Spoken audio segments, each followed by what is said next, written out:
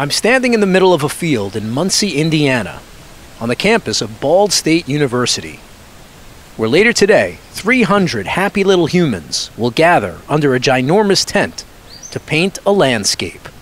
Many have traveled hundreds, nay, thousands of miles to be here today. Some via happy little road trips, others flying on happy little jet planes. Fathers and daughters, married couples, friends and neighbors, old folks, young folks, all sorts of folks, here for all sorts of different reasons. But the biggest reasons revolve around one man. Hi, welcome back. Certainly glad you could join us today because today I thought we'd do a fantastic little painting that I think you'll enjoy. Robert Norman Ross was born on this day in 1942. You probably know him better as Bob. Let's just have a good time. And as I stand in the middle of this field, I'm surrounded by certified Ross instructors from around the country. They're setting up shop, preparing to do what they do, to do what Bob do, guiding, encouraging, offering support, helping us fix our happy accidents. Maybe it rained last night. But today, the weather is picture perfect.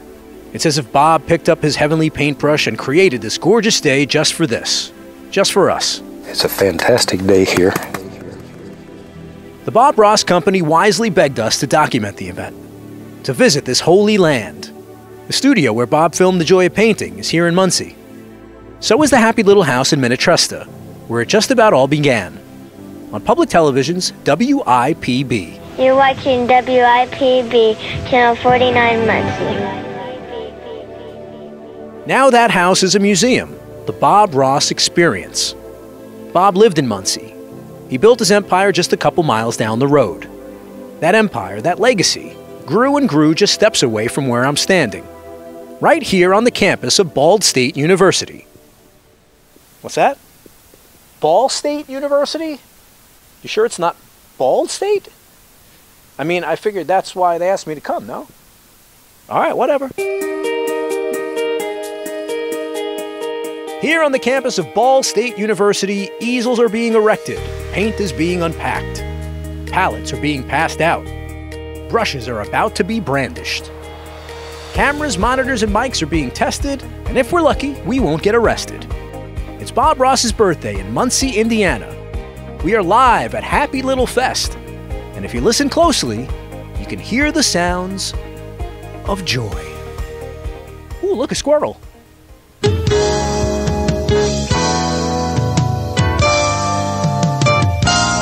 You getting excited yet? It's the joy of Bob. It's the joy of Bob Ross podcast. Happy little stories about Bob. Now, let's really have some fun. Come on, let's talk Bob. Let's get crazy. On the Joy of Bob Ross podcast, finding out why Bob so great's my job. Let's have a happy little tree right in here. He was a happy painter. His art inspired us all. We're gonna climb atop majestic mountains and swim under wonderful waterfalls. The joy, the joy, the joy, the joy. There's plenty of reasons to love Muncie, Indiana. It's small town America. It's homey, charming. It's a city that was built on the shoulders of five brothers. The Ball brothers of Buffalo, New York moved here in 1880 and opened a glass factory. They created a manufacturing empire. Those ball jars you drink your lemonade out of? Made right here in Muncie. There'd be no Ball State University without the Ball brothers. Simply put, these balls built this town, well before Bob Ross was a bouncing baby boy. Fast forward a century and Bob shows up. Now comes the fun. The Joy of Painting was filmed in Muncie from season 2 all the way until the end of its run. A good portion of it at Ball State. And the night before Happy Little Fest, we're invited on campus for a VIP event with Bob Ross royalty. You're going to hear from a lot of those folks in future episodes. But on this night, we're here as observers, reporters. 20 of Bob's original paintings are on display. and we're set up in WIPB's studio space, in the actual room where Bob filmed his show during the latter half of its run. Pretty cool. And you can just about smell the joy in here. Where's that cheese? Man, I'm hungry. But we all know podcast hosts don't eat on duty. So I swig down some water and get to doing what I do best talking to folks. I'm Brian Sutton. I'm a certified Ross instructor, so I teach landscapes and seascapes in Laconia, Indiana, which is uh, an hour southwest of Louisville, Kentucky, right on the river, down in kind of the boot area of Indiana. And what brings you here this evening? Well, you know, obviously I'm a huge Bob Ross fan, and I'm here working the event. Bob's uh, done more for me in my art career than probably any other influencer. So I'm up here spending the weekend helping uh, teach class tomorrow. Tell me your Bob Ross origin story. How did Bob Ross come into your life? Well, it's a sad story, but it's, it has a happy like ending, right? It has a happy oh, ending. if it has a happy ending, happy little ending. I, uh, it's crazy. I was a whistleblower in a federal government. I whistle blew on my bosses, and they forced me out. Right, so I lost my job. Didn't get fired, but I had to quit. Right, so you think that's all awful, right? So here I am, sit. This is crying a real the- story? This is a real story, man. So here I am. you were a I'm whistleblower? Yeah. Wait, was you can't yeah. just like you just like. Oh yeah, no, You just no, like no, roll through it. Oh, it's not a big deal. I mean, there's lots of things, lots of little things that happen. This is that not are- related that are to the not- Bob Ross not story? related to Bob Ross. All right, so- but there are lots of little things happen that you have to point out, and All right. so sometimes people get right, mad so- when you point them out. Let me let me just let me just breathe this in a little slower. So you're a whistleblower Yeah. at a company that you work for that we're not going to name. Federal government. Oh, federal government. Okay, so this is okay. This is uh, maybe we shouldn't be talking about this. okay. All right, so how does that lead to to Bob Ross? Well, great. Well, it, it happened to be around Christmas time, and, and there I am crying in my beer, right? And uh, turn on Netflix. I didn't know who Bob Ross was. I'm not kidding. Let me extend a personal invitation for you to drag out your little paint brushes and some paints and, and paint along with us each show. I'm 52 years old and I had no idea who Bob Ross was. So 2017, I discovered Bob Ross on Netflix. So uh, I start watching the episodes, and uh, the first night I said, "Hey, I think that's what I want to do. This is how I'm going to get back on my feet. It'll be good therapy. This will be great." We just show you how, but you make the decisions. When you have this much power, you have to make big decisions. I started painting, and my, a couple of months later, my wife said, "You're going to the school down in Florida, and you're going to get certified, and we're going to we're going to make this thing happen." Within a year, I was teaching Bob Ross paintings all around the country, having a great time, man. So, and the horrible thing that happened to me, something so much better and bigger happened. Do you ever think you could take a big old brush like that and make a little tree? You can. what was it about watching for the first time at your age that was like, man, I got to watch this again? Especially now, people have short attention spans, and yet you went in the complete opposite direction. You, Right. you know, you took it to another level. So Uh, what yeah, was I dug in. what I'll was tell it? you what it is. It's very simple. Bob made art accessible to me, right? Now, I had always done some types of art throughout my life, various things, photography, you know, things like that. So I was always had an artistic bent, but I never thought that I could do what Bob was doing, and uh, he made that accessible to me. And I think that's the biggest impact that he's had, you know, for the world over, is that he showed people that they can paint. And the more that you paint and the more that you practice, the more that you're able to visualize these. You really can learn to be creative as you paint. And it's like anything else, it takes a little practice. Yeah, they may not paint like Bob. It's going to take a while to paint like Bob. But the fact is, you can paint something you can walk away with that day and go, hmm, I actually did that, and it's okay.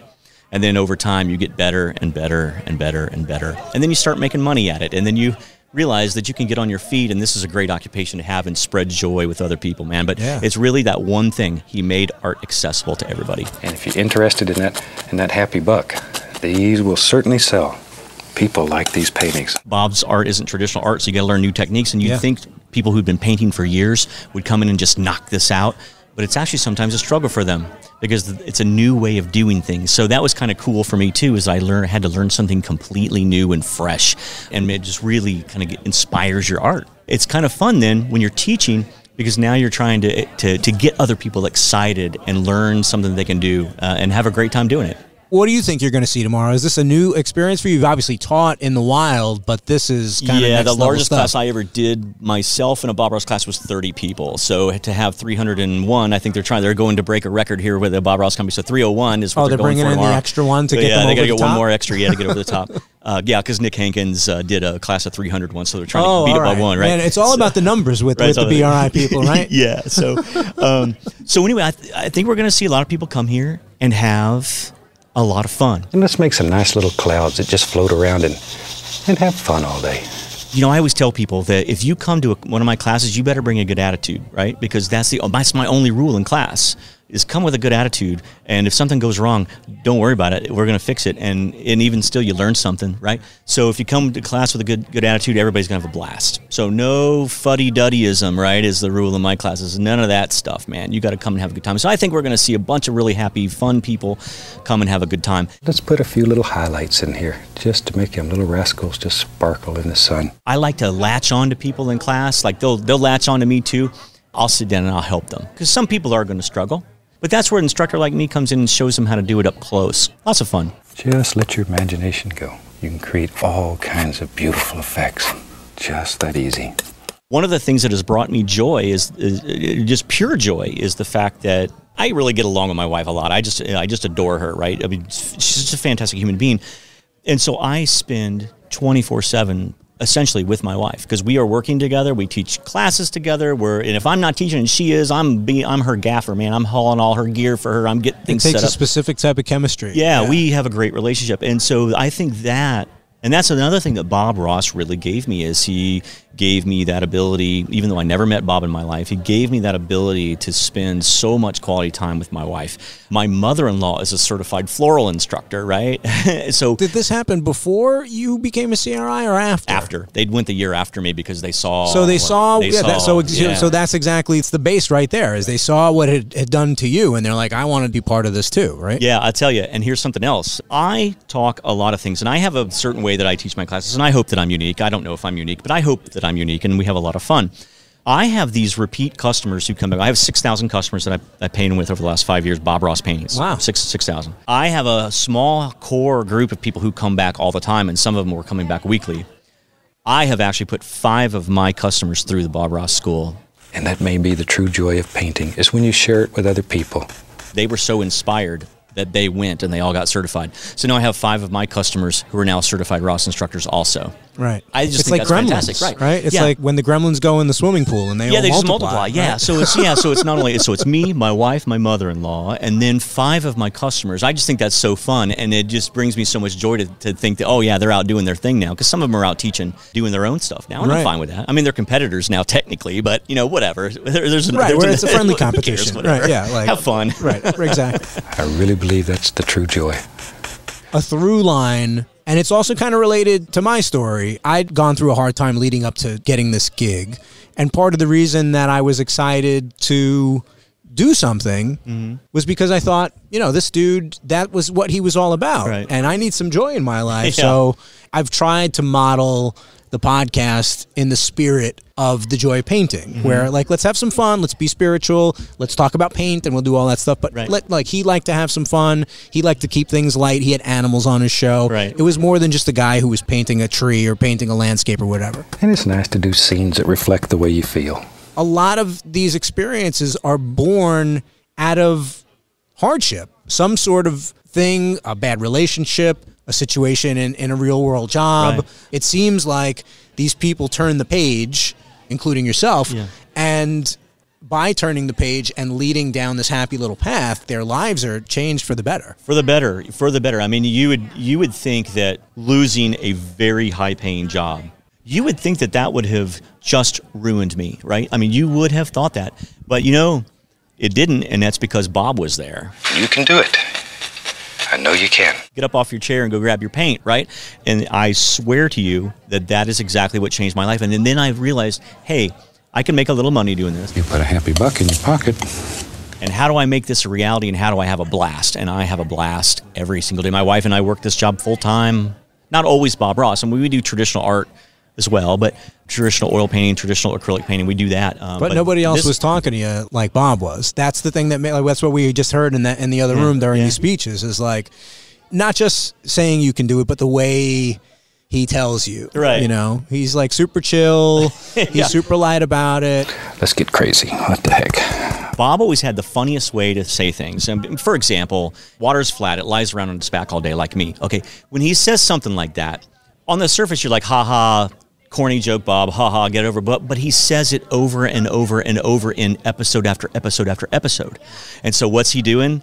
He's teaching you to remember to make your water level. I mean, it's just very interesting ways that he would actually in, embed those little thoughts with It's like you. acronyms and right? Yeah, it's like a, it's almost like a mnemonic, right? It's almost like a mnemonic. And so then you real you remember several things that Bob would say throughout throughout the thing. And so I repeat them in class. I repeat Bob's sayings because you realize just how genius they were, even though they're like they seem silly, but they were actually very genius in the way that he got people to remember things and to do them. That stuck with them long term. I mean, I remember so many Bob Ross sayings just from from watching pretty much all the episodes. I remember them. I think everybody needs a friend. Everybody needs a friend. and I employ them. Well, that was my last question. Is you're of that age? Where were you when Bob Ross was on? I was, was playing on? baseball and chasing women, right? I was also a musician, and I had hair Sounds back like then, me. right? I had hair back Man, then. this- I'm talking to player. myself Man, I, right I now. started playing. I started playing guitar, man, for the women, right? I didn't have time for Bob Ross. I didn't know the women would appreciate my painting abilities, right? So I was playing baseball and playing and, and, and playing the guitar, man, to get some women. Um, and I wish, I wish at the time that I had known. I wish I had been a PBS watcher at the time because I probably, I might have said, "Hey, man, wow, all right, let's go do some paint."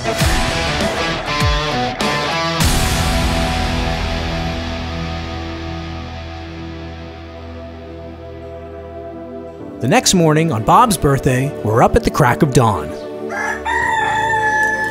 Happy birthday, Bob. Looks to me like it's early in the morning.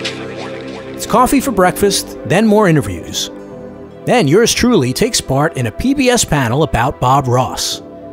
I have officially earned my nerd badge. We connect with most of the certified rockstar instructors. Faye Fletcher, who we talked to in our first episode, gives me a hug. And she gives me a mug. A little thank you from Faye and her husband Jimmy for featuring her on the podcast. And this ain't no Bob Ross mug. Instead, it's adorned with pictures of Faye and Jimmy's pet goats. Classy. Now it's time to meet the fans.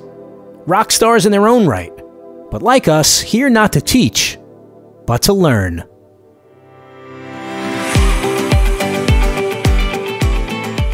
Sitting side by side, lined up on long tables, row after row, brushes in hand, their eyes focused on CRI Doug Hallgren, who, from a small stage at the front of a tent, is being his best Bob.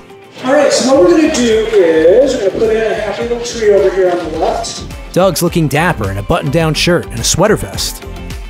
He's got one of them fancy headset mics, so he obviously knows what he's doing. To that, I want you to add half of your Van Dyke Brown, half of your Sap Green, mix it all together. That'll give you a nice dark color for our hepa tree and our bushes that are going in next. Doug Hallgren's the band leader today. Meanwhile, a couple dozen other CRIs like our new friend Brian Sutton, Nick and Ada Hankins, Doug's partner Eddie Cuervo, and our old friends Faye Fletcher and Ted Simpson float around different sections to help everyone with their painting. And of course, Bob is here. On TV monitors placed around the tent. But in spirit, too. Because everyone under this tent has been touched by Bob. Not just the painting professionals, our friend James Shapiro from Jansen Media, who's handling a live stream of the event. Having the chance to stream him onto Twitch and coming out to these events and doing all these things in, in his honor and his legacy. That's what I, guess that's what's made it grow on me. We've done a lot of work with Nick Hankins. Just watching him do it and seeing somebody being able to make the painting a masterpiece within like an hour is like ridiculous. And I think that's it's the mastery for me of the the technique that's like most interesting. A couple celebrating their wedding anniversary. The dude is dressed like Bob. The wig, the shirt, a stuffed Peapod doll in said shirt pocket. He's all in. The girl is dressed like a cat. The squirrel's mortal enemy. Watch your back, Peapod. I'm back as promised, cat lady. Okay. What's your name, my dear? Anna. Anna. Where are you from? I'm from Marion, Indiana. You're here with Brian slash Bob. Yeah. And is this your first painting rodeo as well? Uh, as far as Bob Ross goes, yes, I'm, an, I'm a full time artist, but I've never um, had the experience of the whole Bob Ross experience until now. I've watched my whole life, but it's fun to actually apply it. And your husband Brian over here is scraping away as, as we talk. yes, he is. And um, is this something that you, you've done together before as a couple? he watches me paint all the time, but I don't think we've actually sat and done a painting class together ever until now. And what brings you here? Bob Ross. And it's our anniversary. Our Monday is our six year wedding anniversary, so it's a gift to each other. congratulations. Yes, thank you. It's a gift to each other. What are you painting? It's a snowy mountain scene. Yeah, three peaks and a snowy top. And then some happy trees and with a reflection in the water.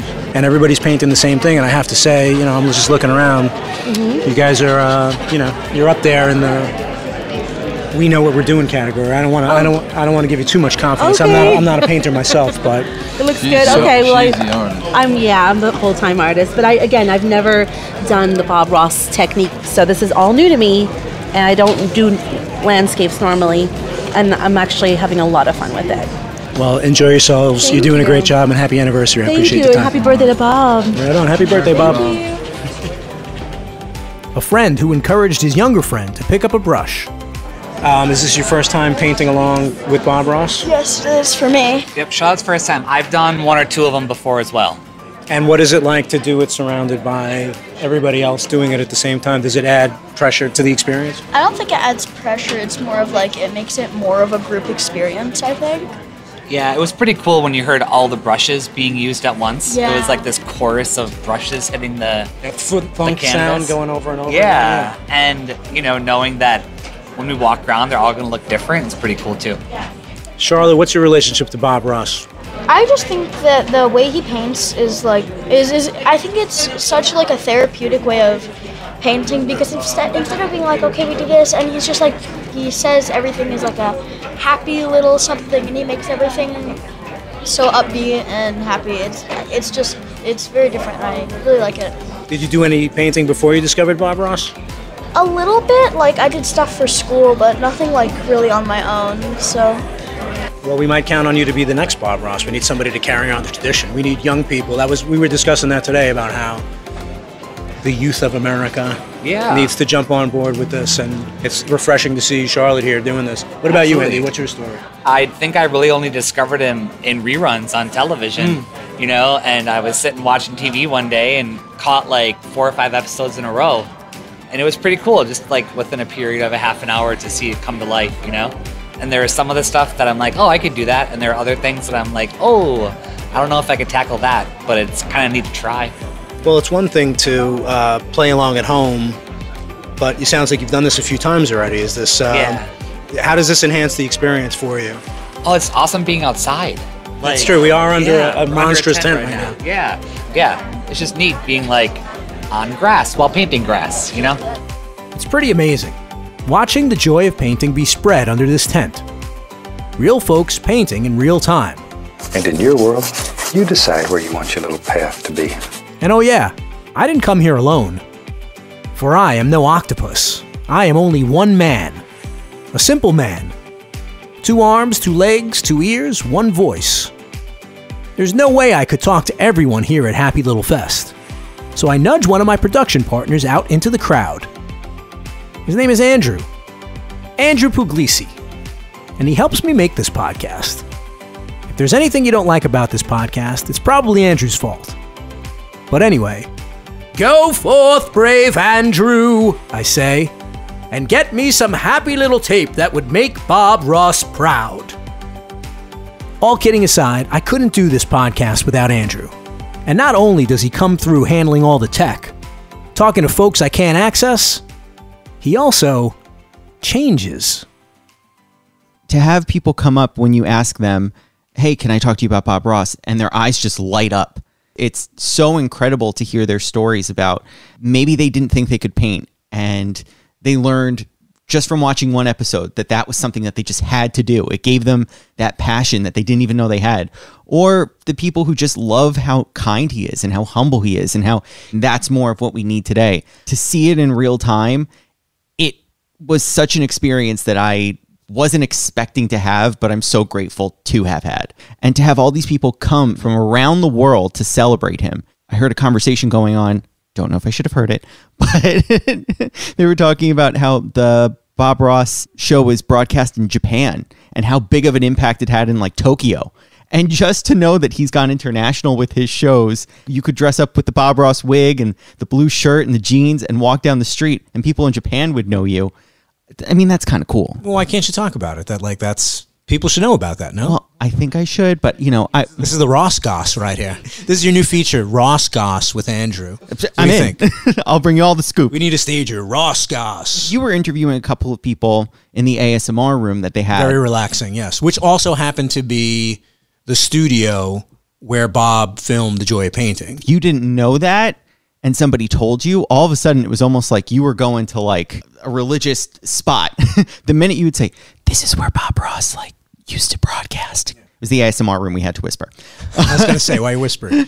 People would all of a sudden be like, Oh my God, this is it? This particular event wasn't about memorabilia as much as it was about, you know, embodying the spirit of what Bob was all about. And I was on a panel with some pretty important people related to Bob and, and Bob's legacy.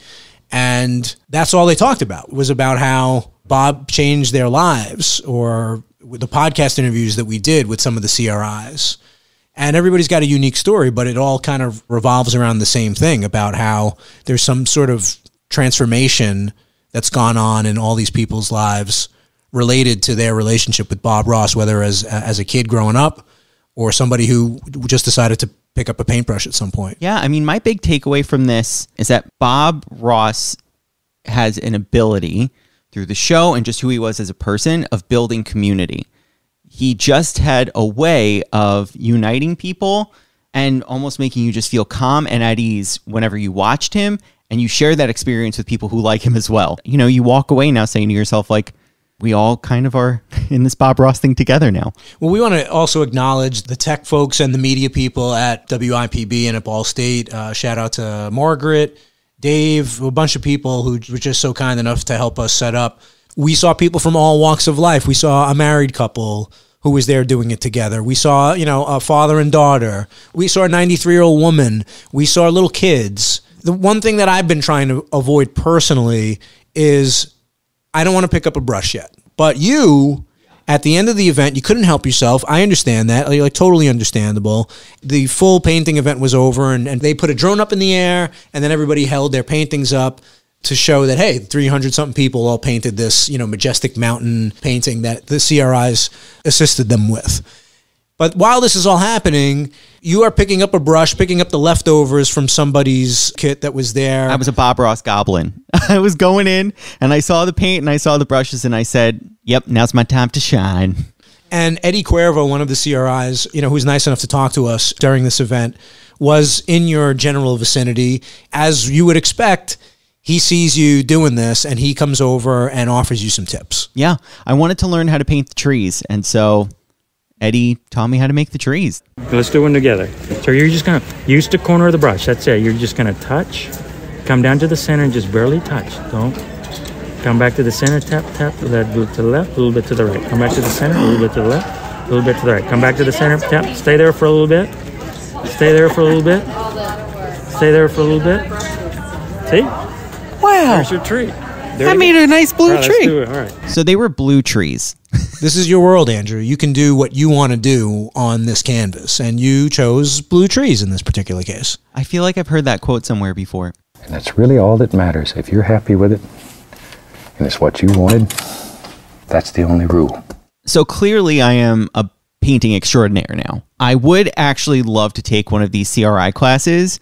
I want to learn from a CRI just to see how many people it was their first time ever painting in the Bob Ross style, and they all started off the same. I saw the blank canvases before they started, and to see them all go home with these incredible paintings, I want that. I want to go home with a painting and have people be like, "Who did that?" and be like, "It was me." Did you experience anything, any like anything internally? Oh, I felt something transformational for sure. I want to make those trees. And again, there's a technique to making the trees. You heard Eddie say you have to go with the corner. I have very clumsy hands. So every time I would start it, it would be, oop, not there. Oop, not there.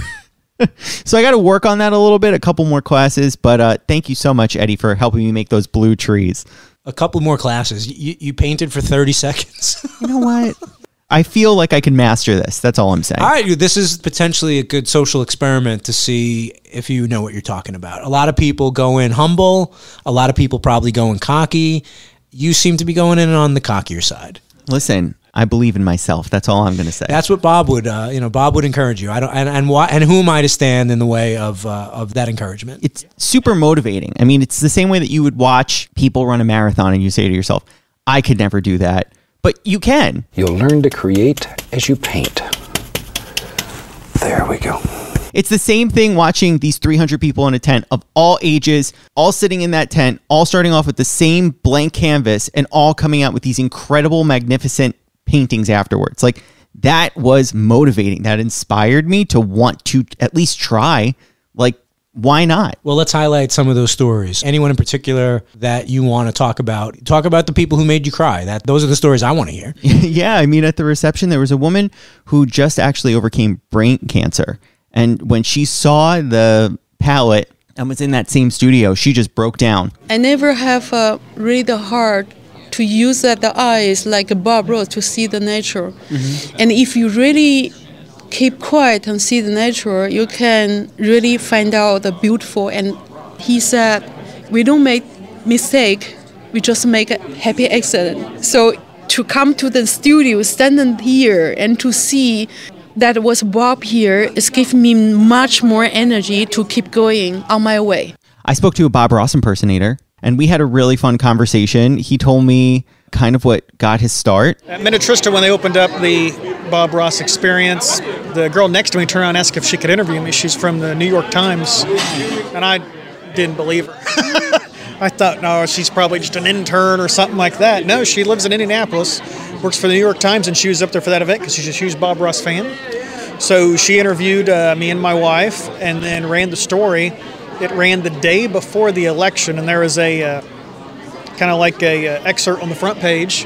There's a whole big article with our picture and everything, and like after that, there's a bunch of people that contacted us from all around the world to try and do like interviews and stuff. It was like absolutely perfect timing the way it worked out. So there you have it. Halloween weekend 2022, Bob Ross's 80th birthday celebration at Happy Little Fest, Ball State University. You seem energized, transformed. You're ready to pick up the brush. What do we do next? Like, how do we continue that journey? Put me on a plane and take me to New Smyrna Beach ASAP. I want to do one of these CRI classes. I think 2023 is that the year I'm going to become a CRI certified instructor? Who knows? Well, stay tuned, podcast fam. You just say fam. Isn't that what the kids say these days, fam? I don't know who these kids are, but um, is there a Bob Ross fan club name? Do they call themselves something? Um, if not, I'm thinking hashtag Rossinators. Uh, hashtag Ross bosses. Ooh, the Ross bosses. I love that. All right, so New Smyrna Beach, 2023. Andrew Pugliese becomes a certified Ross instructor.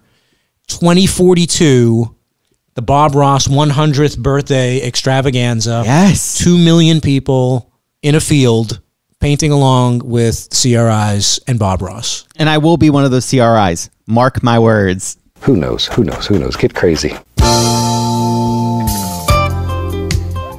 Well, the old clock tower on campus tells me that this happy little festival is done.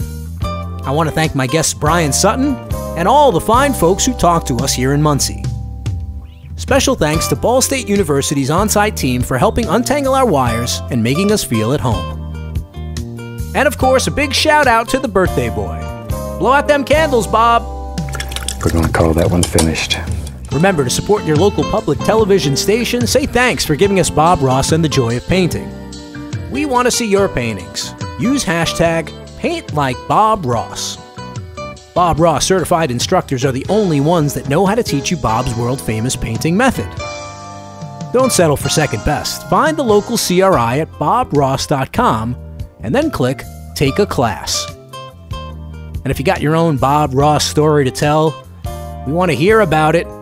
Pick up your phone and leave us a message at 866 FANBRUSH. Or you can email us at podcast at bobross.com.